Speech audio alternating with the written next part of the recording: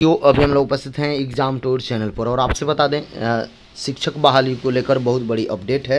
पहला दिन कितना आवेदन गिरा, इसके बारे में संपूर्ण जानकारी यहाँ पे दिया जाएगा, और इसी से आप अनुमान लगा सकते हैं कि कुल आवेदन की संख्या कितनी हो सकती है। लेकिन जब भी आप देखते हैं कोई भी बहाली आता है, यदि उसमें ज़्यादा क्राइटेरिया नहीं होता है तो लगातार बहुत सारे आवेदन गिरते लेकिन इसमें बहुत सारा कंडीशन है जनरल ये भर्ती है नहीं तो इसमें बहुत ज़्यादा आवेदन आने की संभावना बहुत कम है। सीट की अपेक्षा यदि दूस, यही दूसरा वैकेंसी रहता तो देखते होइएगा आप 12 लाख 15 लाख 18 लाख केवल 2000 सीट होता है तो पहुँच जाता है। लेकिन इसमें उतना नहीं पहुंचेगा जिस अपेक्षा में सीट है उस अपेक्षा में देखा जाए तो बहुत कम आवेदन गिरेंगे। फिर भी यदि आप चाहते हैं अपने एक सीट कन्फर्म करना तो आप अच्छा तरीका से तैयारी करें और तैयारी में जोड़ दें। जो भी अभ्यर्थी इस फॉर्म को भर रहे हैं कोशिश करें कि अच्छा तरीका से ध्यानपूर्वक सही समय पर भर लें। क्योंकि अंत में जाकर साइट थोड़ा सा स्लो हो जाता है वो किसी भी क्योंकि जब लोड पड़ता है तो साइट स्लो होना स्वाभाविक है। आगे देखिएगा क्या है। कितना आवेदन कर कल गिरा है, इसके बारे में मैं बताऊँगा। इसलिए वीडियो को अंत तक ज़रूर देखिएगा।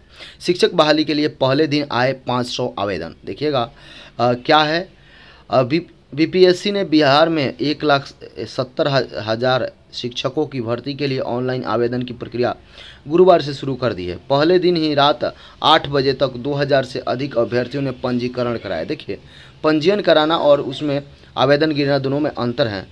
पंजीयन कराया, वहीं 500 से अधिक छात्रों ने फॉर्म भी भर दिया। हालाँकि, अंतिम रूप से पेमेंट 400 अभ्यर्थी ने किया। अंतिम रूप से पेमेंट जो होता है, वही होता है। अंतिम रूप से पेमेंट केवल 400 अभ्यर्थी ने किया।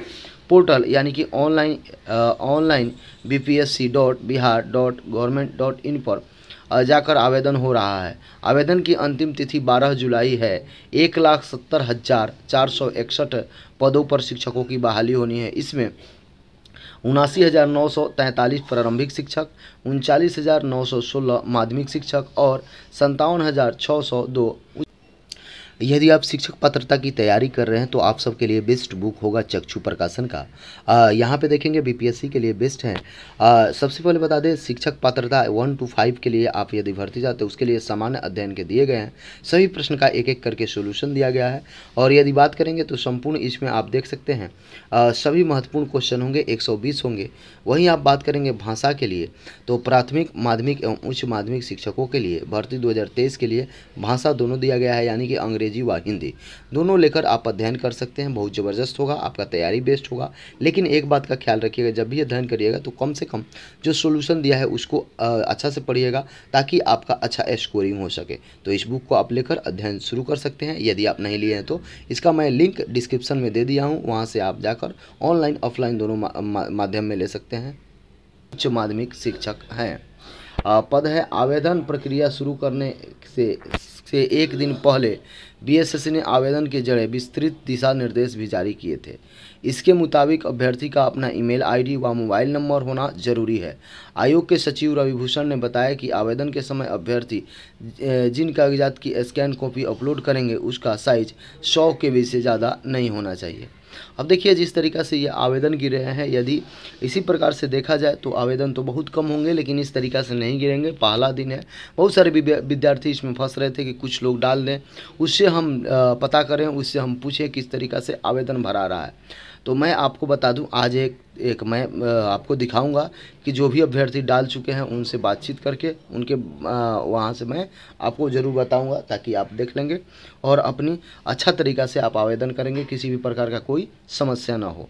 और एक बात मैं आप बता दूँ, जो भी अभ्यर्थी इस वीडियो को देख रहे हैं, मैक्सिमम लोगों का शेयर करें।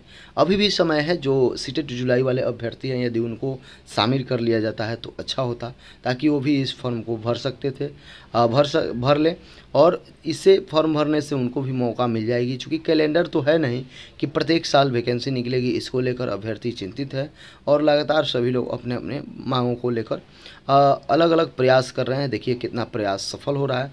तो जो भी एग्ज़ाम टूर पर नए हैं, चैनल को सब्सक्राइब कर लें, लोगों में शेयर करें। जय हिंद, जय भारत, जय युवा।